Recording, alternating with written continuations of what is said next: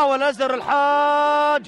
الآن يا الله يا الله. فهد الأنصاري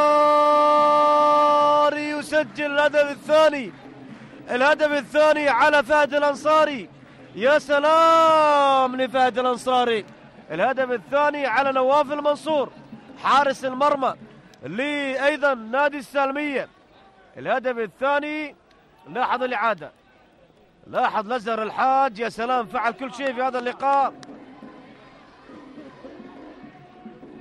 مر بشكل إيجابي عمل كل شيء في هذه الفرصة. لاحظ مر من ثلاثة دفعة واحدة ومن ثم الرابع وأخيرا العرضية والمتابعة من فهد الأنصاري لاعب الوسط الهدف الثاني للقادسية.